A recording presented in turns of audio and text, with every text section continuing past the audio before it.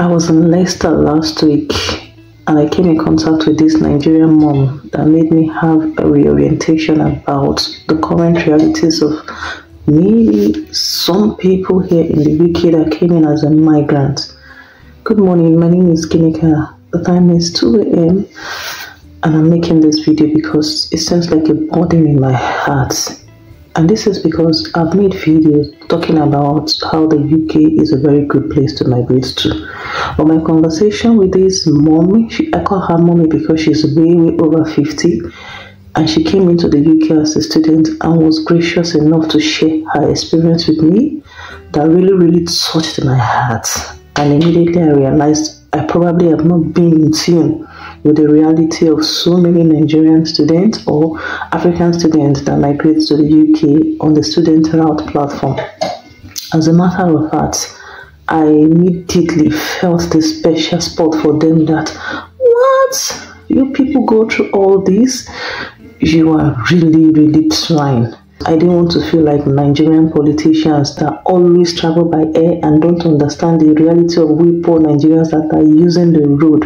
And this is why I decided to come back to make this video, especially for people that migrate to this UK as a student. So how did I meet this mommy? While I was in Leicester, I bought a day ticket to allow me commute easily. But I was lucky to finish in Leicester as early as 2 p.m. and I didn't want the day ticket to waste. And here in Leeds, I have seen people come down from the bus and they don't need their day ticket again, give it to other people. Do you need a ticket? And people just collect it. So I did the same thing in Leicester, approaching people, do you need a day ticket? And they were all ignoring me, like, no, thank you. Then I met this black mom, and as I was approaching her, she just paused, like, uh huh, what? I said, no, everything is fine. I'm just going to ask you if you live in Leicester and if you can have this day ticket. And immediately she busted into laughter. And I was looking at her that, is everything okay? She told me that she thought I'm a student and I am stranded and I'm probably looking for a place to pass the night because it's either I have come visiting university, any of the university in Leicester to see my lecturer for project or something and I'm passing the night there. So I'm looking for a black that could accommodate her. I said, really? Do people do that? And she began to narrate lots and lots of things that people do here as students in the UK not because they actually want to, but students already, most of these students do not come in with their full school fees. We all know that school fees abroad is expensive because you are paying as a foreigner, you're not paying as a citizen. They have to deal with paying their house rent, other bills that they have to sort, and of all this, they have just 20 hours to work which some of them may not earn so much to be able to even cover up their school fees. Please kindly note that this video is not in any way to bring down students, but rather to appreciate all what they go through. Saying that say because I came in as on a skilled worker visa, so I'm quite disconnected from their reality. And this woman was gracious enough to share her own experience with me. This woman I'm talking about, she's almost in the league of my mom's age, and I was looking at her that why would you go through all these things when you had a good life in Nigeria? By good life, I mean she said she was working in National Hospital Abuja. Well, I don't know her rank um, as a nurse, and she had over 20 years experience, but forfeited everything and came over here to the UK to start all over as a student. But luckily for her, she got a job along the line that was able to sponsor her. So she kind of switched her visa and she lives somewhere else, another town, but usually still come to Leicester to come and come see her supervisor, at least to complete her study. Ah, I was even just telling her that, you know, I'm about to have something doing in Leicester, but I don't think I'm going to take it up because of the distance and the stress in commuting. And this is a woman that is doing it with two boys. That day I just sat down and then something touched me in my heart that, yes, it's true, people are really, really going through a lot in this UK because of the stories she shared with me. I had another experience again on Monday, and that experience was another student. So I was in the market to shop, the local open market. And in this local open market, if you don't have cash, I'm sorry, you may likely not get anything to buy. It is hard for you to see people that will want to take transfer from you except you go inside in the stores. So, and what I wanted to buy was outside. I spent one hour trying to beg people like can i pay into your account? And you just withdraw the money and give to me. And nobody was answering. Looking for me one guy came. So the guy probably picked that i'm a nigerian from the way i spoke I just begged him, Oga, I beg, eh? please, it's just 25 pounds. I don't know why people are not agreeing for me to make this transfer to them. And then the guy just asked me, Are you a Nigerian? I said, Yes. He now felt a bit comfortable and allowed me.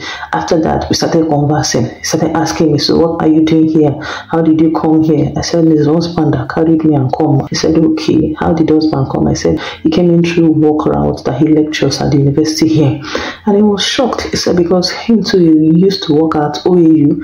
Don't know if he's a lecturer, so but he had to come here as a student and has been trying to get something doing this and that. Truth is, uh, even here in the UK, I get a lot and lot of people reaching out to me, and these are students that is do I have link for job? Is there way I can help? Much more people coming from back home in Nigeria. Honestly, I wish I can just give them link and say, you know what, this link will give you job.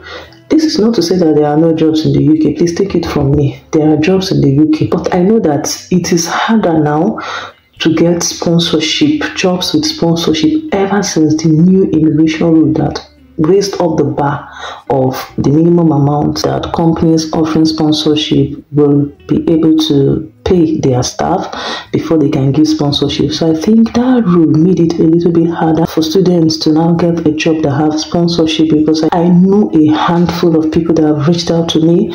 Not that they are not seeing job, they are seeing jobs, but getting that job with sponsorship. I mean, we all know that the average salary here in the UK is in the range of £25,000. But imagine the government bringing up rule that companies that want to sponsor must pay a minimum of £37,000. So you see the gap, £25,000 to £37,000, which was not how it used to be. People that are coming in as students, they are the real MVP. I really, really wish that they can bring down that cap on the minimum amount that a company needs to pay to offer sponsorship because that is the major barrier that is preventing lots of students here from getting a job as swiftly as they would have gotten. I wish God can just come through for many students that are on the verge of going over to another country because they cannot keep up, their visa is about to expire. Yes, they are given three years postgraduate study work permits after studying now, which is a good one. I'm hopeful and optimistic for a whole lot of them that at least within these three years, maybe from upscaling, getting certification and experience, hands-on experience on some job, they can be able to at least leverage and get a higher paying role. Having come to the light of this understanding, if I have a student that has the opportunity of maybe going to Canada and going to the UK, just as an example, except you're prayerfully sure that God is leading you to the UK, then I would rather say if you have these two opportunities, go for Canada because in Canada you know that you stand a chance to apply for PR even while you're still a student. If you have the Canadian experience class, you can apply under that section. But I'm not saying Canada is much easier to get into than the UK, but I'm just citing as an example because people have reached out privately to me asking me, eh, I'm trying to jackpot. What do you advise? Should I come to the UK or to Canada? Honestly, it's up to you. But I just give this suggestion based on what I've seen here, being that if you're coming on the student route, it is longer for you to get a permanent stay in the UK compared to if you go in as a student to Canada. While if you come in as a skilled worker, at least that one you know you have just five years, all things being equal, as long as God continue to sustain you, protect your company that is offering you the sponsorship, that nothing goes wrong. Because it's life. Life is filled with uncertainty.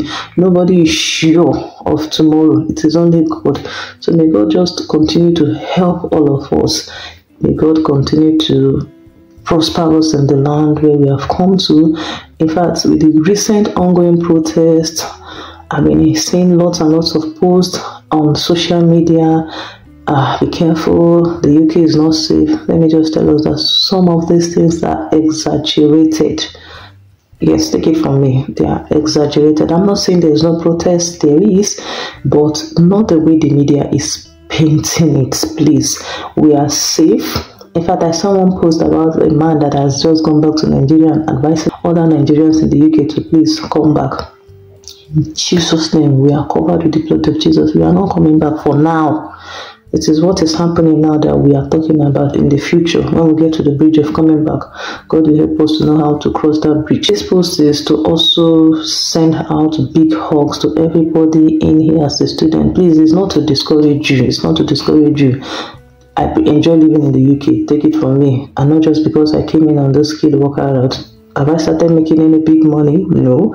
But the environment has been peaceful. The environment has been meeting my social needs, my economic need compared to when I was in Nigeria, it has been meeting my basic amenity need. My kids are happier here, they enjoy their school, and by the grace of God, we know and we trust that it will keep getting better and better. I recently came across this mom that I'm watching her video. I will link all YouTube name here. She migrated to the UK in the 80s with her husband. Her husband came in with a British scholarship as a student, and she has been gracious enough to share share her experience with us and I have been watching her video and enjoying her video. Thank you all for watching this video till now. I appreciate every one of you that have been binge watching all my videos and sharing your wonderful comments with me. I look forward to seeing you in my subsequent videos.